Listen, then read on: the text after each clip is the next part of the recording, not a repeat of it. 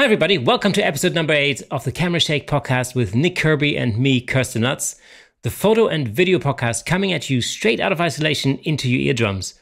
We'll be talking about talk life in lockdown, what's happening in the world outside, and if we're lucky, we'll hit on photography too.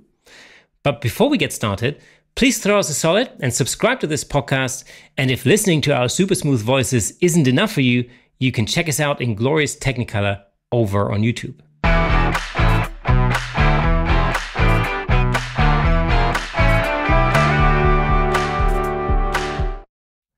So, how are you this week? Good.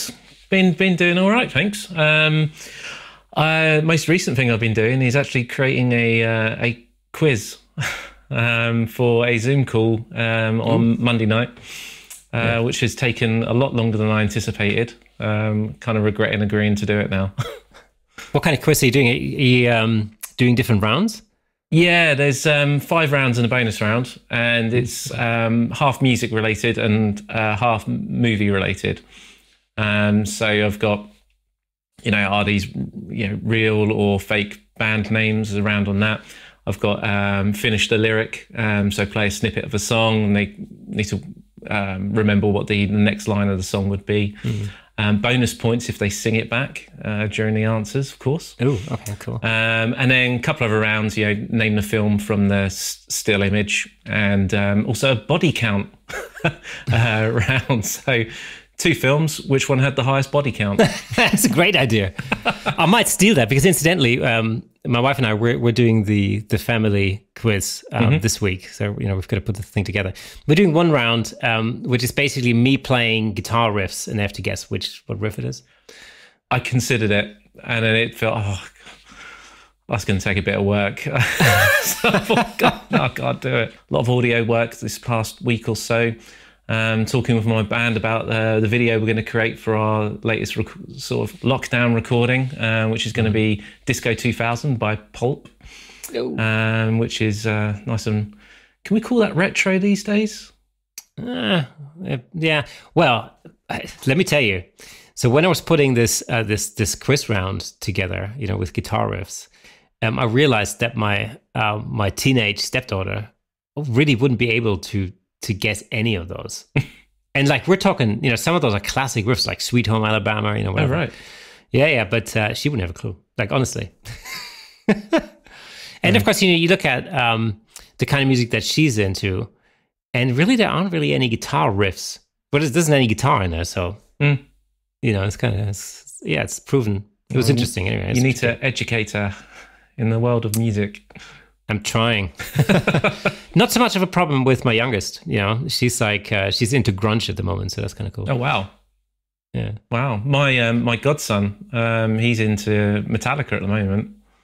Oh, cool. Yeah, goes to sleep listening to Metallica. Ooh, nice. Well, Kara's into Incubus. What um, what have you been up to last week or so? Um, it's strangely, it's been a busy week actually. Um, I've done a little bit of photography, so I've done um, a couple of different just different things at home, really.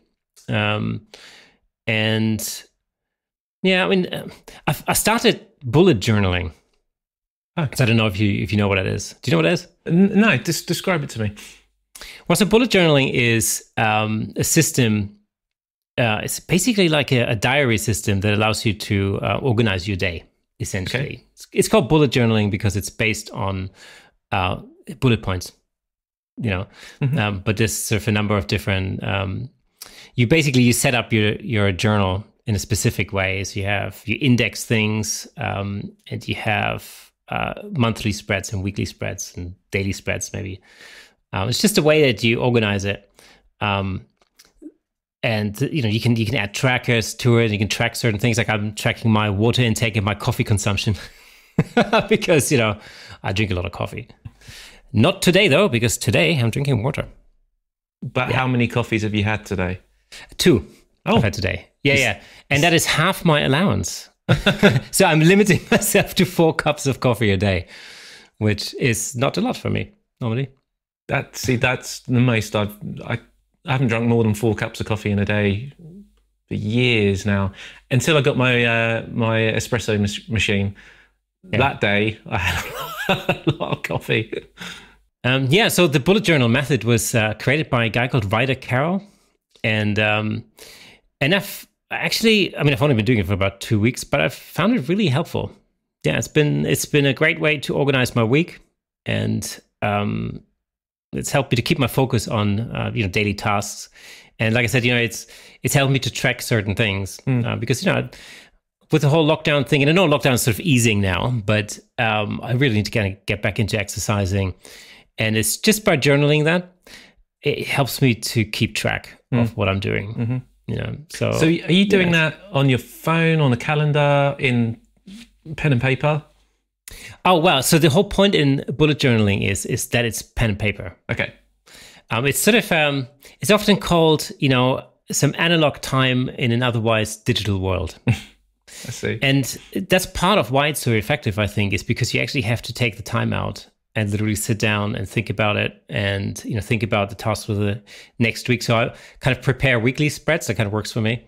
So it, basically, you start with a monthly uh, a monthly spread and you just think about the month ahead and all the things that are happening. Like maybe you put in birthdays or you know particular events um, that you've got coming up. Mm-hmm. Um, and then you essentially take that information and you move that into your weekly spread. So you're kind of constantly moving information around. And what that does is um, it sort of ingrains itself into your brain. Surely, if you make it too complicated, you end up spending more time organizing yourself than actually doing things. Yeah, that's true. But um, but it's sort of me time, you know. Um, so yeah. it's not just sitting down and just uh, sort of planning the day ahead. To give you a good example, so what what I what I would ordinarily do is like I would wake up in the mornings. You know, I'll get up really early. Like I wake up anytime between five and six, and I'm up. That's it. You know. Um, and normally, what I would do is I would, you know, go downstairs, make a coffee, you know, sit down, look at my phone, right, and um, and start the day that way. And I, I don't know, look at Facebook and you know, read some news article or whatever. It's not really very productive time. Mm. So what I do now is, you know, I get up and I still make a coffee and I sit down and I look at my bullet journal um, and I look at the day ahead. And actually, um, what I'm doing there is I'm using that time, you know, productively because I'm already kind of ahead of the curve, if you know what I mean. So, um, and it's just a, it's kind of a habit that I'm forming, which I find really quite useful.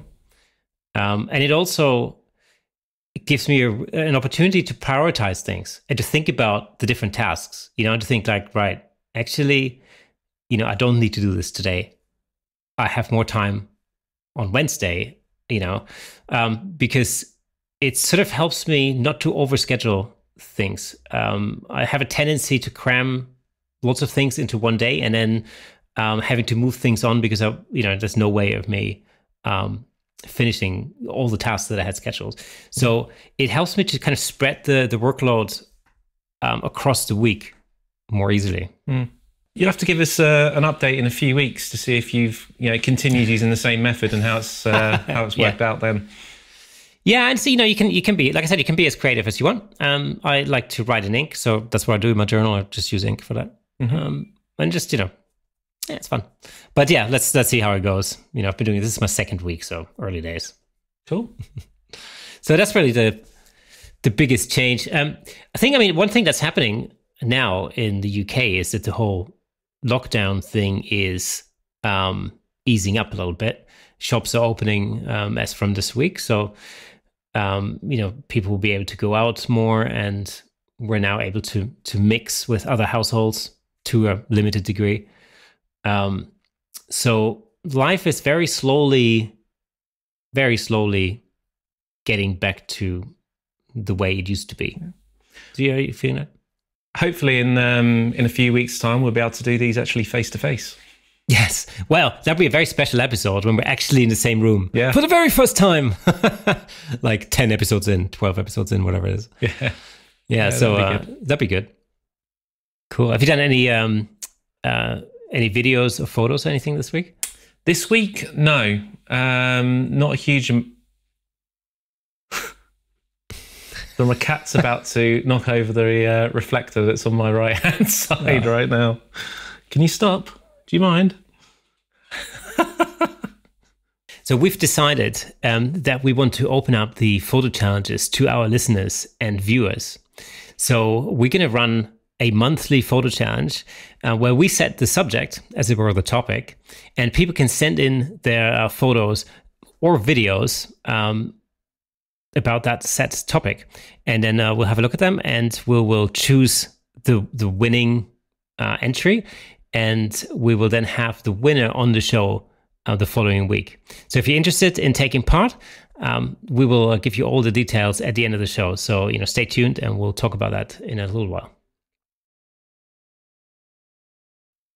Right, so I guess it's time to actually talk about some uh, photography um, and videography um, on the show. So, Nick, what has caught your eye this week?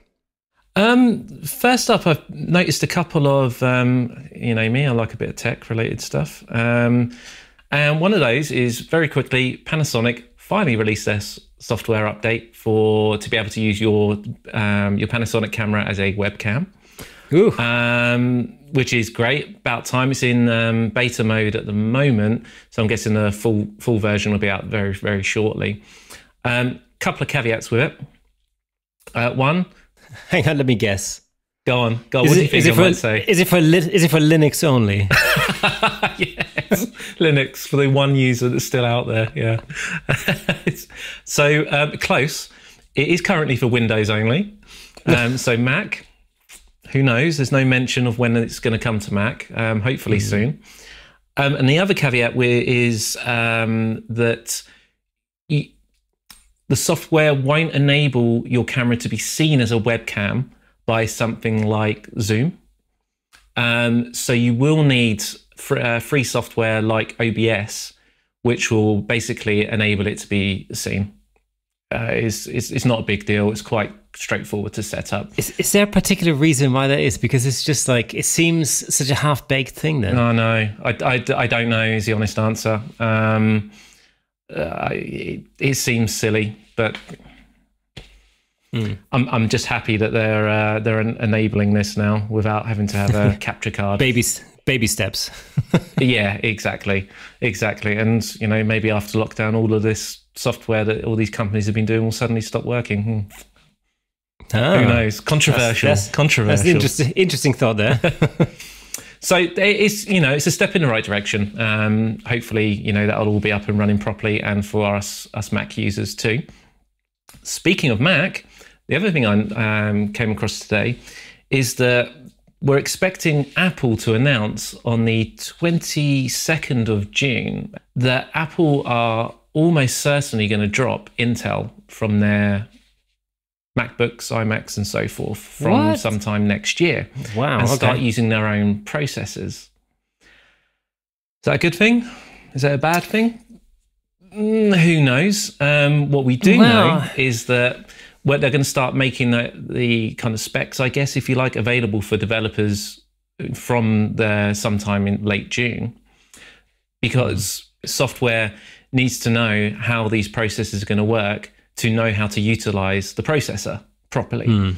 So if you take Premiere Pro or Final Cut, that uses the number of cores and the number of threads and so forth in a processor in certain ways to maximize um, its efficiency and to get the most out of that processor.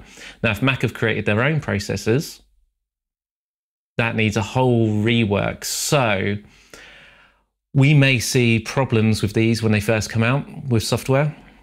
And so it could be a while before you know software can really use the the new processes properly. Who hmm. knows? I don't know. I'm making assumptions here. But you know knowing how some of um, adobe's updates of late have caused no ends of end of problems for me um, i'm expecting some issues. So um, I like to upgrade. I've, I've started on kind of a new cycle of upgrading my MacBook and my iPad and phone and so forth when major updates come out, um, I may actually hold off now because I'm not sure I'm going to want that in 2021. Um, I might wait until they're all squared away with mm. uh, any problems, but we'll see. We'll see. The other part to go with that is that we're also expecting Mac to announce, probably not in June, but that they're also going to be doing their own graphics cards. So their graphics cards that they're using right now will eventually go away too.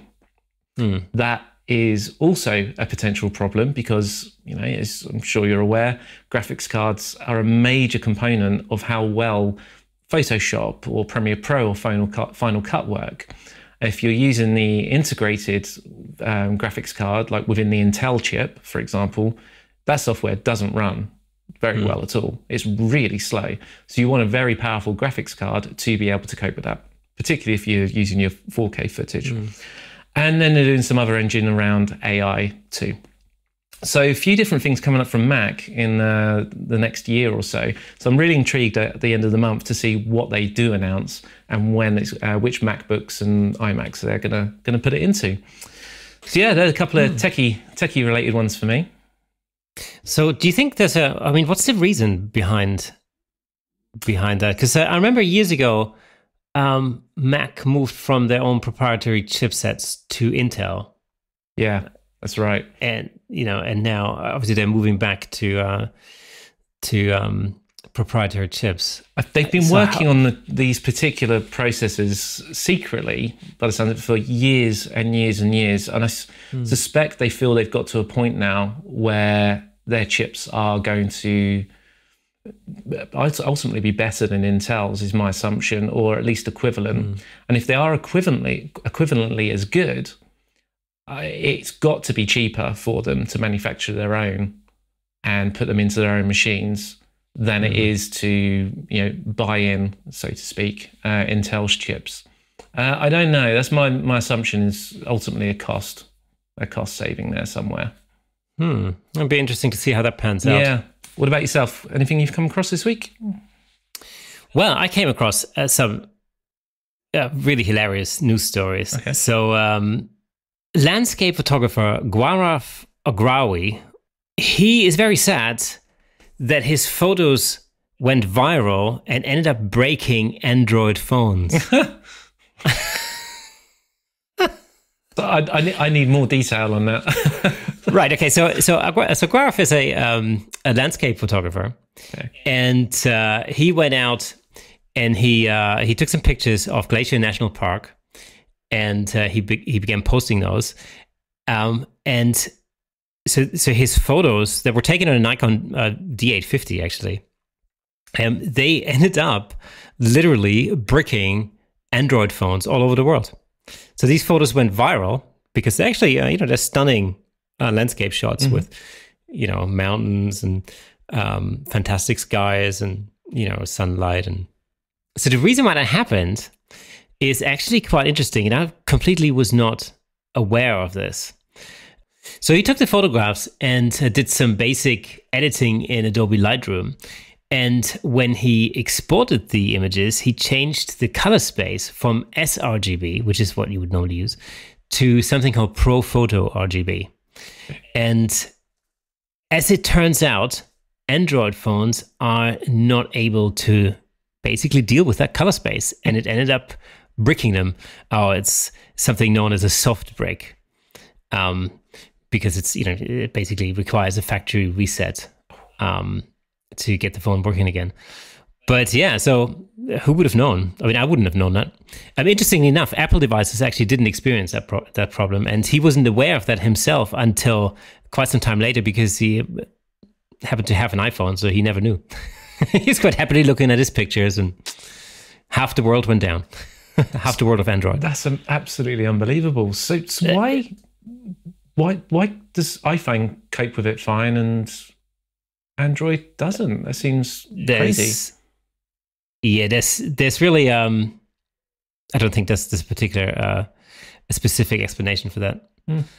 So this this uh, Pro Photo color space is uh, basically unreadable by a large number of Android phones. So it doesn't seem like it's all Android phones, but it's it's a, a large percentage of Android phones. Perhaps older And it's actually ones. mostly it's mostly those by Google and Samsung. Mm-hmm. Okay. So, so you know, in his, you know, ingeniously designed cyber attack, he took out all of Google and Samsung's phones. Very clever. Okay. Another question. Yeah. Why? Why did, does he explain why he chose that color space rather than the standard sRGB? Um, I don't. Th- I mean, it sounds like he wasn't really thinking about it. It's just something you know he just did. That's- For no apparent reason whatsoever. It seems like a conscious decision to to do that because it's I, I've never selected anything other than sRGB. I want, I'd, I'd actually be after this. I'm going to have, have a little look into those color spaces and understand what the difference between them really is. So color space simply defines the number of gamuts that can make up different colors. So um, most of the time, you know, we would work in sRGB uh, color space, and you know, as long as your camera is set up to the same uh, color space and your editing software and your monitor, then you can make sure that the colors that you produce in camera are within the same color space and look very similar to you know what you'll see on the screen. Um, when it comes to printing, however, things are a little bit different because uh, when you use, when you print, you move from RGB colors to CMYK colors because now it's different inks that make up your colors, and um, so therefore you could potentially, you know, maybe even have a greater variety um, of different tones and colors that you could uh, that you could create that way. So there are different color spaces that would be used for that. Adobe RGB is another color space that's what's that? You know, it's not as common uh, as as RGB, but it's it's one that that people might uh, you know recognize. Um, but ProPhoto RGB you know, I've certainly never worked in that color space um, myself, and it's it's not really something um, that I would use uh, predominantly because I, I, don't actually print very much personally. You know, in my work, um, it's very much uh, digital imagery that I create, so uh, printing doesn't really come into it to a to a massive extent. You know, um, it's something I'd like to look into a little bit more, and something I would like to develop for sure. Um, and that's you know where color spaces might become a little bit more uh, important. But given that he was creating you know digital images there was really no need for him i don't think uh, to play around with the with the color space at all. So i think maybe he changed the color space by mistake or maybe he just didn't know what he was doing or didn't understand or well, who knows? I don't know. But um anyway so it turns out that uh, google and samsung phones uh, google and samsung phones um, don't like the the pro photo rgb color space. Simple solution, no? Just use an iPhone. hey not that argument again Apple fanboy, yeah. oh god the comments are going to be flying and Oh, I'm yeah, I'm sure. right now I'm sure. I came across uh, something that caught, you know, was really quite interesting. This uh, really creative. Um, there's an artist called Adam Hillman, and he describes himself as an object arranger. And I guess he, you know, takes similar objects and just positions them creatively and takes photos. In mm-hmm. itself, you know, sounds sounds great. And he typically does this with with food. But a recent set of photos he's released is very different. And what what he's done is he's taken, you know, there's a handful of them, but if I just take the one that I'm looking at right now, which should be on your screen hmm. about now, is he's taken fruits. But the fruits he's taken are all fruits which have similar colours. He's laid a square uh, piece of cloth, which is red, on the table. He's then placed these fruits on red fruits like grapes, strawberries, peppers, raspberries, apples, and he's placed them on top of this red cloth. He's sliced into them as well to create texture where the colours are the same. But then where the cloth stops, he's left different colours of those um, fruits and vegetables outside of the red cloth. So you've got pure red on the inside and then other colours of these fruits on the outside. So, give you an example of what that might look like. Uh, a watermelon is red on the inside and green on the outside. So he sliced uh, the watermelon so that inside the cloth it, you could only see the red, and on the outside you've got the outside green of the watermelon. An apple, red apple, the outside is on within the cloth, so the red part of the apple, but he's cut into the apple squ- in a square shape so that the outside has the you know the kind of creamy coloured of the inside of an apple, and then a I guess what do you call those blood oranges? Uh, mm, so the inside of those are red. So he's got a slice of that, but the outside mm-hmm. are orange still. So on the outside of the mm-hmm. cloth, it's got the orange. Very, very cool. It looks fantastic how he's done it, and he's got loads of different ones. He's done one with chocolate where mm. he's got packages. The packaging is orange, so in one corner you've got the packaging which is orange, and then within those it opens out into actual chocolate around it. Mm. Other sections of the same photo have red packagings, um, and then the kind of gold color of a Twix and Quality Street and mm. uh, things like that, and arrange them into patterns. Very, very creative. A lot of food possibly going to waste there, but it looks really, really good. So as long as that food didn't go to waste, I'm all over that. Very, very cool. Very, very creative. Interesting. Yeah, food photography is definitely something to look into. Yeah. That may be a nice challenge one day. Ah, yes, it would. Well, see, the, the problem is though, I really eat with my eyes. You know, when I see good looking food, I don't know whether there'd be enough time for it to be photographed. There'd be just, uh, mm. I just have to just devour all of it. well, you're just gonna have uh, have to have a little bit of self control in that challenge. It's hard. what else have you uh, come across this week? Um, well, interestingly enough, so you know, I've been playing with a lot of apps on my phone. Mm-hmm. Um, obviously, over the last well couple of months, I should say, and I'm naturally always interested in photography apps, and there's all sorts of different apps that you can get. I mean, Adobe make um, you know all the like their Lightroom and Photoshop apps. There's a whole variety of different Photoshop apps um, that you can use on your phone, um, and some of them I find really useful. Um, for example, Lightroom is a really good example. I've edited a lot of stuff on the go um, in Lightroom. So even if, you know, it might be um, photos that I obviously take with the phone, but also photos that I take uh, with my Fuji and I just transfer them onto my phone and I give it a quick edit. Mm-hmm. Um, and uh, and also you can use it as almost like a database, so you can have uh, you can upload uh, you know images that you're working on on your desktop, and then you can carry on uh, working on, on them on your phone or you know iPad or whatever. Um, so some of those uh, some of those apps are really really useful, and of course there are lots of really playful um, photo apps uh, available as well. Just you know apps that you can use to um, I don't know use different filters and you know um, just alter your images in, in any way, shape, or form. Uh, some of them are really clever.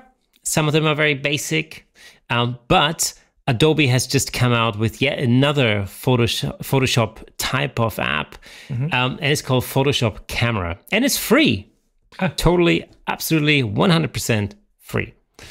Um, and what it does is it's basically it basically uh, it's aimed at uh, people who post a lot of images to social media, so Facebook, Instagram, um, Twitter, whatever. And so it's essentially uh, using the Adobe Sensei engine mm. to add filters to your photos. So you have um, you have a choice of I don't know how many, a lot of different filters that you can use. Um, and uh, I've, I've tested it. I've tried it. It's you know it's a playful kind of app. It's a it's a bit of fun essentially. But I have to say, I mean, the images look really good. Okay. You know, in terms of quality, they're really high quality um, images. Some of those filters tend to degrade the the basic image a little yeah. bit. Um, but these ones actually do look pretty good. So um, it's definitely aimed at the sort of you know social media savvy. You know, just want to take a photo with my phone, slap some filters on it, have a little bit of fun with it, and post it to my profile. Type of uh, type of consumer, but yeah, I mean, it's you know using some decent technology behind behind it or under the hood. So it's yeah, it's really quite impressive. That's great. I mean, Adobe's AI is pretty pretty damn good. Yeah. Um, so I'm, you know, if it is using that, that's I'm I'm sure it's come out quite. I'm gonna I'm gonna download that later today, and uh, see see how that is and what uh, how that works out. I mean, I use um, I use the the Lightroom app all the time, um, mm. just for again just for general ph- photos that I might have taken on my phone and whatnot. The control mm. within it is quite astounding, really, given that it's just an app on your phone but I also use the, um, uh, the, the one that you introduced me to a while back. Actually, was um, Adobe uh, Capture. Oh yeah, and you know, for for those of you who who may not have heard of Adobe Capture, um, it's a basic little app that allows you to get it's, it's like a color picker with your camera primarily, right? Um, and then you so you can put your camera up to whatever it might be, a you know book, a, you know any color on a poster or anything like that, and you can uh, have it select what that color actually is. So you get the the the RGB for it, or the hex code and whatnot. Mm. But the the the other cool thing that it does is that it then gives you color palettes relating to that color. Um, which is incredibly helpful if you're designing something within Photoshop or Illustrator, um, but just to get an idea of what colors could go together. Um, and Kay, correct me if I'm wrong, but if uh, I think you can then get it to kind of resort the color palettes for different style of color palettes. Is that right? Yeah, there's a whole whole range of different things you can do with that app. Um, so the the um, the color part of it is only one part. This uh, you can um, you can you know take a photo of something and turn that into uh, I believe into like a PNG or something like that. It's or into a GIF. So there's a whole range of different uh, little really useful little options mm. um, in that. Uh, I predominantly use it in the same way that you use it, just to um, you know um, identify color palettes. Um, interesting thing, though, a little fun thing. If you watch in a movie and you think like, "Wow, the color grading," very technical thing here, by the way, for all those color nerds amongst us. Um, but yes, if you watch a movie and you kind of think the color in this movie is really cool, it's like you know, it looks great. If you hold that phone up to the screen, it'll give you a color palette, um, which comes in handy if you're trying to you know edit a photo and you're trying to kind of get it to look similar to that movie. So I found that's uh, that's actually worked out a few times. That's Just to give interesting. It that, that kind I, of matrix look or something, you know. I'd not considered doing that before. That's a really interesting idea. Yeah, yeah. You have to adjust it a little bit, but sure. you know, you're pretty much. I mean, you know, ballpark. You're yeah. there. You know, it's uh, yeah, it's really quite good. So uh, yeah, Adobe are coming up with um, a whole range of different apps that are uh, useful, you know, for professionals as well as um, you know um, amateurs or just you know photo enthusiasts, if you want. Yeah. Um, and I think Adobe Camera um, or Photoshop Camera is that's probably that's like in the enthusiast kind of you know yeah um, part of uh, of those kind of apps. So uh, I would say it's a fun thing. Um, I, to, to, to be absolutely honest, I don't really see myself using it, you know, um, but um, it's certainly something that probably my kids would use. Absolutely, and it's good to know. Mm. It's good to have those those things that are out there. And you know, I get, I get asked all the time, "Oh, you know, is there some you know by people who don't necessarily take photos, um, you know, but they just take stuff on their phone and just want it to look good." They're always asking me, "What can I use to quickly, you know, get this to look look decent. It's like, well, yeah. now I've got a great great app that I can can share with them, and uh, you know, it's good. Yeah. It's really good that Adobe are doing these these items. You know, I'm guessing, you know, they're you know giving it away for free. They're gearing towards getting a subscription to Lightroom and Photoshop and so forth, no doubt. But, yeah, I think I mean this is you know one of the um, uh, one of the filters in there is called the Billie Eilish filter. Of course, it is. So uh, you know, so I mean it, that really tells you enough about the age group that that's yeah, uh, aimed at. But of course, what that does is it gets people using um, Adobe products. Absolutely. And so, you know, once they're using that, it's not, you know, then moving from that to Lightroom or to Photoshop or whatever, it's not a million yeah. miles away. So, you know, you're getting people into the system, as it were, yeah, that it's, way. It's a clever um, move. It's a very clever move. Now, the issue I have with it is that, you know, I love the fact that they're doing it, but I wish they would have hired – new people to do it rather than taking them off Photoshop and Premiere Pro and letting them go to waste as they have been in the 2020 versions. yeah. There's been some issues in the 2020 version. Yeah, I'm sure, a little yeah. upset with Premiere Pro at the moment. yeah, I'm, a little bit, I'm, I'm, upset with Photoshop. Yeah, same thing. Um, it's, it's crazy. They introduced some fantastic features, some real good improvements here and there, but let everything else that was good about it before slip.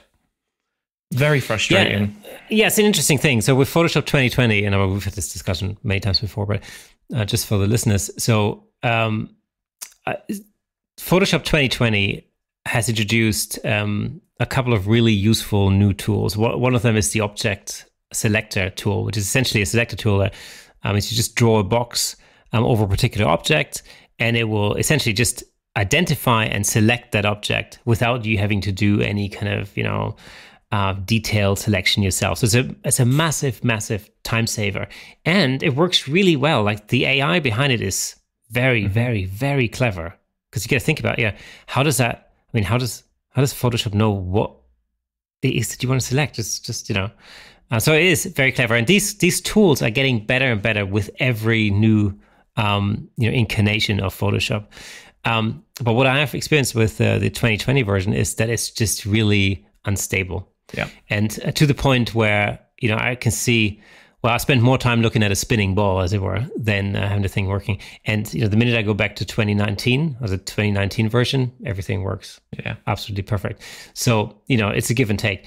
Um, these two or three new functions or new um, new tools, you know, I can see them being really useful.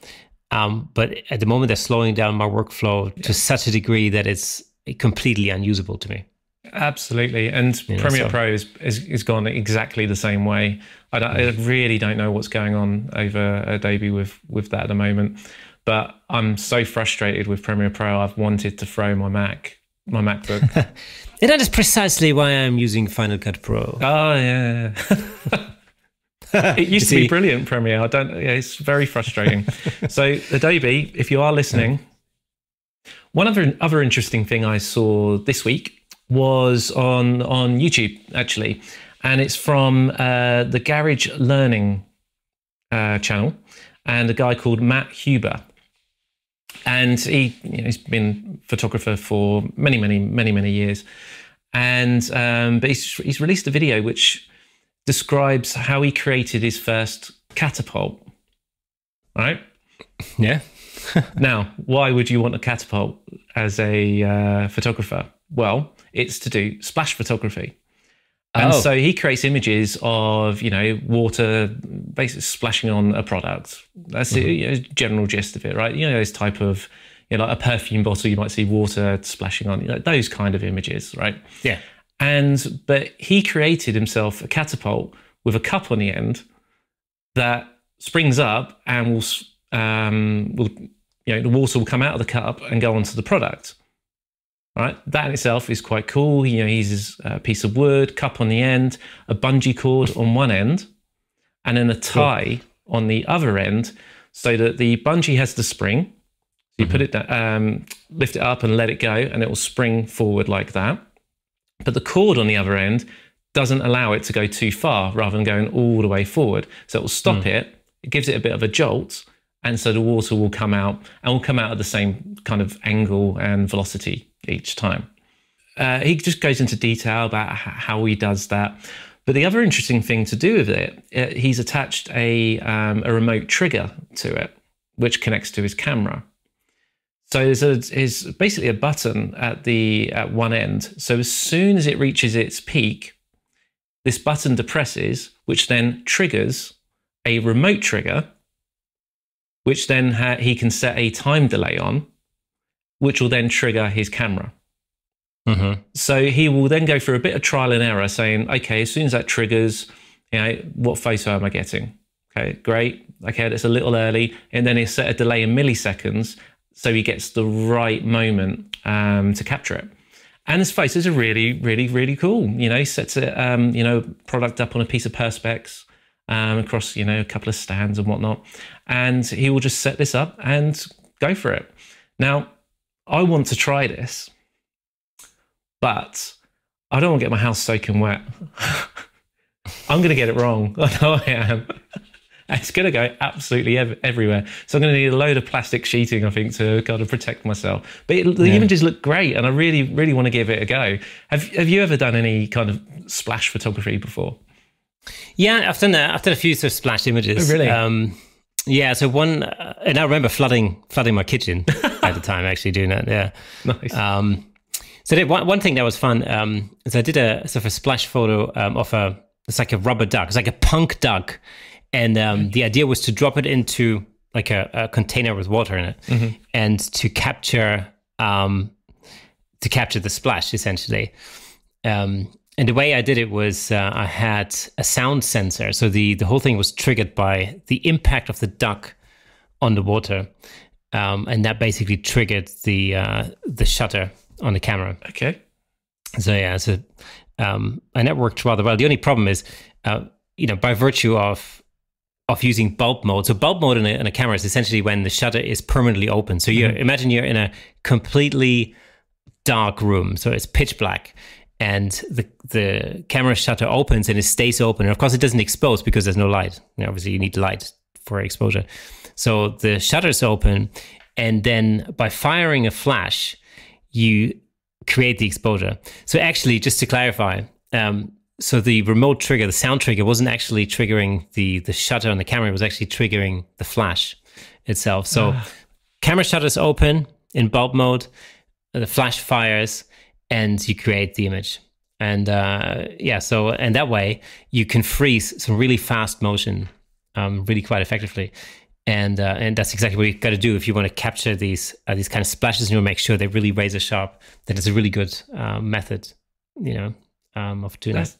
Very, very cool. So, given that you're in bulb mode, then mm. what? How did you determine what power your speed light should be at? How how did how did that kind of work?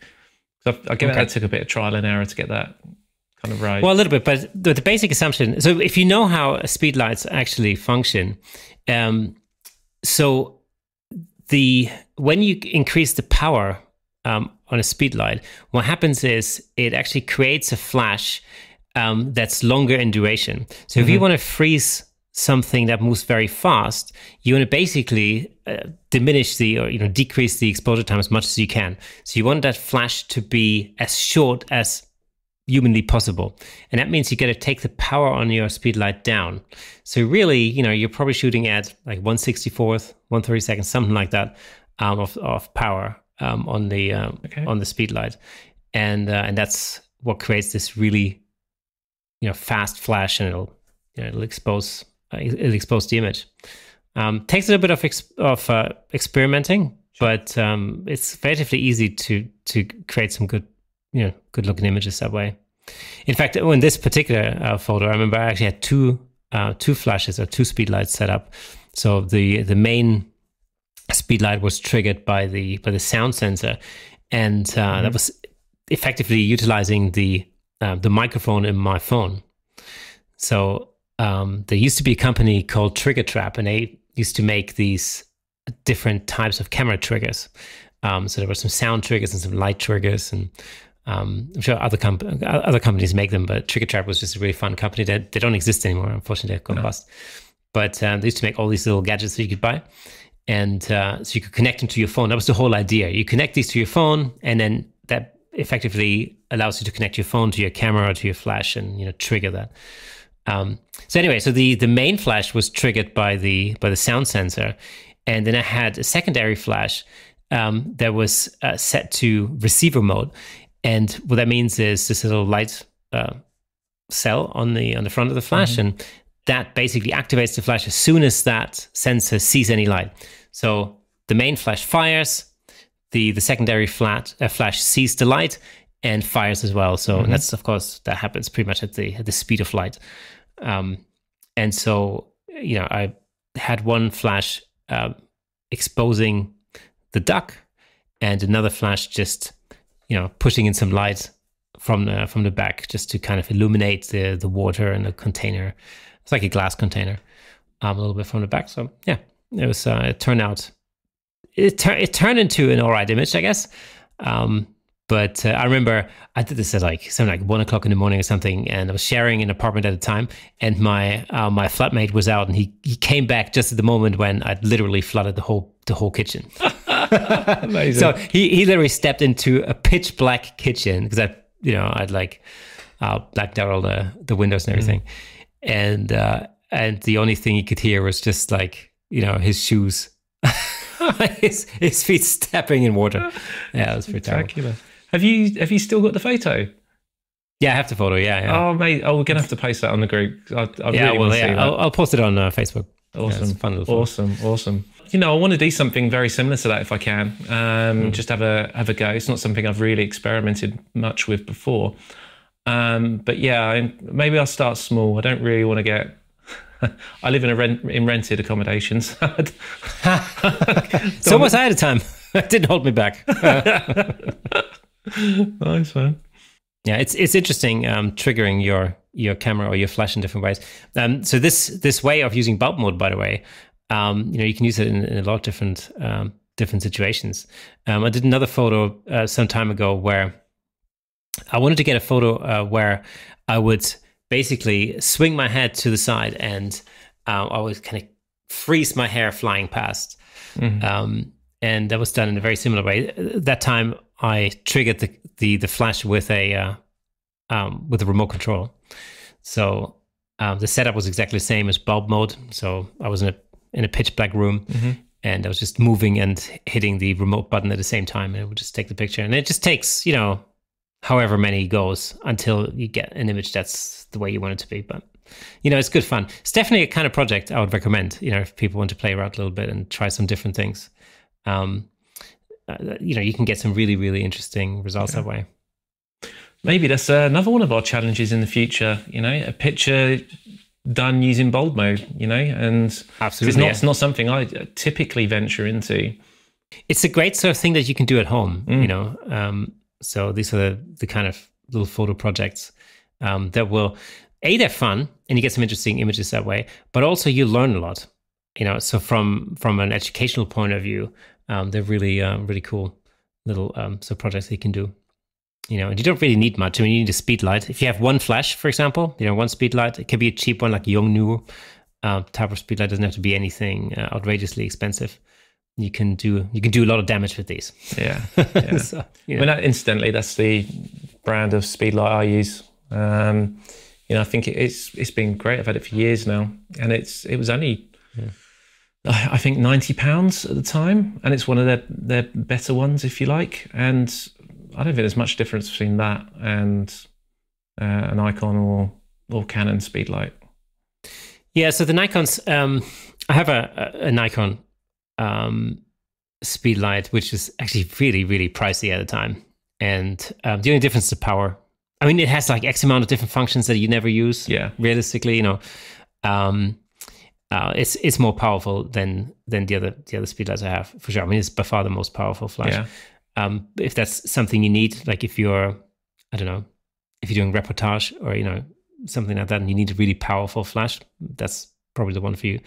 But um, you know, so other than that, um, Cactus is a really good speedlight brand. Mm-hmm. Um, they're sort of a Chinese brand, but they're um, I like their triggers and I like the way that they you know build their I like the build quality of their of their speedlights. Mm-hmm. They're really you know they don't break the bank too much. They're not by far not as expensive as the kind of branded you know Canon and Nikon yeah. flashes, but they have uh, you know build built in uh, radio receivers. So you get radio triggers, which is really really useful. Yeah. Um, and the receiver's already built into the flash, which is perfect, and they work perfectly. I've used them on so many shoots. I can't even tell you. I mean, I've used them on international shoots. You know, that's the one thing with speedlights. Um, and I think I've mentioned this, you know, previously. Um, especially when you're traveling, like when you're flying out to a location and you're doing a shoot. Um, it's really, you know, you've got to travel light. So, mm. uh, you know, taking like copious amounts of studio uh, studio lights with you is just not going to happen. So if you know if you're doing uh, portrait work or um, headshot work or anything like that, speed lights, speedlights, speedlights, totally the answer. Mm. You know, um, I've really I've run my business on speedlights for several years. you know, it works well.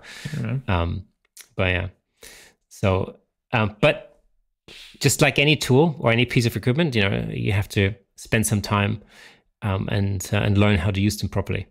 And that's yeah, there's lots of like I said again, there are lots of uh, little uh, photo projects that you could uh, that you could do at home. Mm. Uh, maybe in one of the next few episodes, we'll talk about some specific uh, uses for speedlights that might be quite interesting. Yeah, great idea. So, Kate, anything else that's caught your eye this week? Well, yes. So finally, um, I found something that made me think of you. okay. Um, this better be good. uh, well, you love it. You love it. Um, so there's this guy called Tristan Poyser, and he's an event um, photographer uh, from London.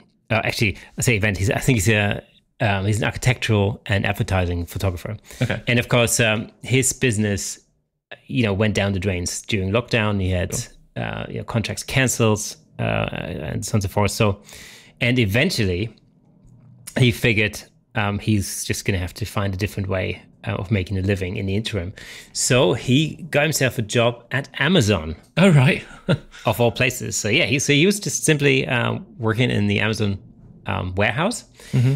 and so being a photographer, at some point he thought, oh, it might be a good idea to um, just you know take some pictures and to document you know what's happening um, inside of, uh, of an Amazon warehouse.